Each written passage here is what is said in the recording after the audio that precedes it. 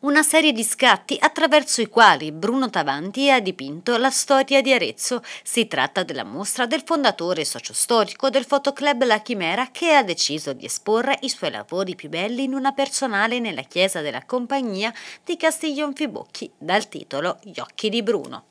Sono partito da queste foto che ho alle mie spalle di Castiglion Fibocchi che sono un ricordo bellissimo anche perché sono molto datate e tra l'altro sono affezionato perché una di queste ha anche vinto uno dei primi concorsi fotografici che hanno allestito qui in paese. E inoltre ovviamente queste cose mi hanno sempre emozionato e mi hanno sempre fatto ritornare indietro nel tempo.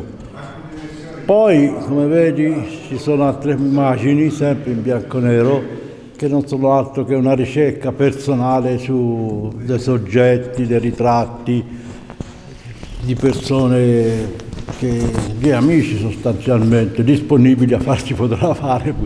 Poi col tempo è cambiato anche la fotografia, tutto è stato generato in modo particolare dall'avvento del digitale che ha portato a trasformare quello che era la fotografia tradizionale analogica in fotografia digitale, che, diciamo la verità, per certe cose il digitale è anche più bello, più affascinante e anche riesce anche a dare delle emozioni. Però io dico che col digitale si fa le immagini, con la pellicola si fa la fotografia.